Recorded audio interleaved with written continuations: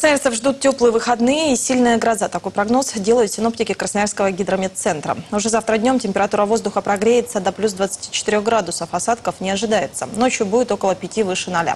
А вот в воскресенье синоптики обещают сильную грозу. Однако, несмотря на это, будет тепло. Днем столбики термометров поднимутся до 22, ночью до плюс 12 градусов. Начало следующей недели тоже будет дождливым, но теплым. В понедельник днем около 21 градуса тепла.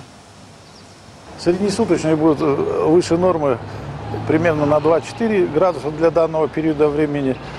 По центральным и южным районам, значит, в ближайшие сутки с севера э, будет проходить э, циклон, который по Приангарию пройдет, будет опускаться холодный фронт. Очень контрастный фронт и будет смещаться к югу. Вот такая ситуация.